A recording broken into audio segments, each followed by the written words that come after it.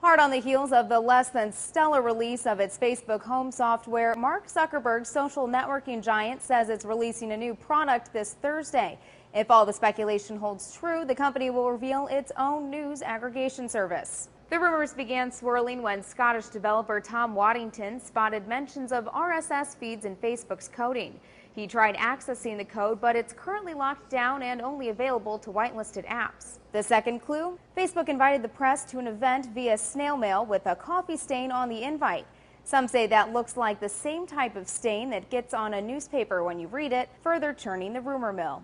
More fuel to the fire, Google is shutting down its own RSS feed reader service on July 1st. This headline notes it's because news consumption is changing, but the writer says Google is trying to get people to go to Google+. Now that Facebook has conquered social networking, it may as well tackle news consumption next, right? A writer for PC Magazine calls an RSS feed the next logical step for Facebook. Many users already turn to Facebook for their headline fix scouring their timeline for friends' links to stories. It makes sense for Facebook, which is constantly gunning for people to spend more time on its site to add a social news component. And the Inquisitr writes, imagine logging into your Facebook account and seeing friend posts and then clicking over and seeing a fluidly integrated RSS feed that allows you to share stories quickly while accessing feeds from others as they allow. TechCrunch notes this isn't the first time Facebook has attempted an RSS feature.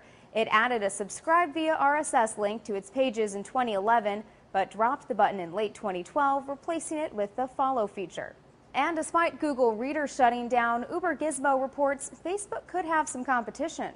Online news aggregator Digg is also planning to create a replacement for Google's service. It's not known when that replacement will be released for use, and Facebook is staying tight lipped on its own plans too, pending Thursday's announcement. For Newsy, I'm Elizabeth Hagedorn.